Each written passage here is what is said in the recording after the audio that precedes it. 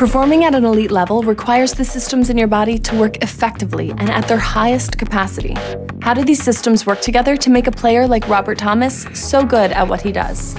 Let's find out from the pros at Barnes Jewish Hospital and Washington University physicians.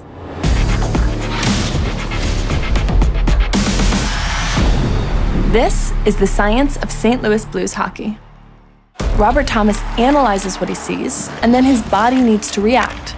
How are the brain's instructions transmitted to the body?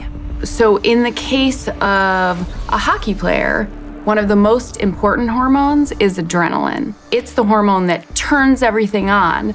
So, as soon as they see the puck, they transmit that information to the brain, which will then send signals to the adrenal glands, which secrete adrenaline adrenaline goes into the bloodstream and then targets all the important body systems for exercise to give an optimal response and amp up the efforts to do what's needed in that intense exercise moment. There's a lot going on here. How fast does all of this happen? It sounds like this is taking a long time, but the body's response to adrenaline happens in milliseconds. It's shorter for an athlete because they have this practice and they've developed these kind of faster circuits that are more automated. So Robert is supercharged with adrenaline, the blood is pumping. What happens next? So there are different muscle groups, what we call slow twitch and fast twitch. So the slow twitch muscle groups, that's kind of the marathon runner of the body. The fast twitch muscle groups are really the sprinter of the body, and that generates a higher force much quicker, and it's really a coordination of both of those muscle groups that allows athletes to keep competing. By practicing physical skills over and over, players encode this ability in the brain and learn how to do these automatically without conscious thought.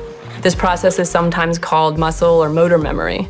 So muscle memory has to do with how you coordinate specific movements, everything from skating to shooting. And so muscle memory really just directs things, but it's the energy, the muscles that are driving things under that direction.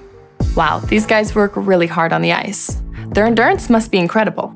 Part of the level of endurance that professional athletes have is that they're training both for a longer period of time and a much higher intensity. This means his anaerobic threshold, the point where we feel the burn in our muscles, occurs only at much higher intensities. This enables both speed and power with minimal constraint. And that has to be another huge rush of adrenaline when they score a goal. So it's all a nearly automatic response to sort of ramp up when it needs to and then almost as quickly calm back down. If you're a well trained athlete, as they reach more intense exertion, you'll actually have a higher adrenaline response than someone who is not a well trained athlete.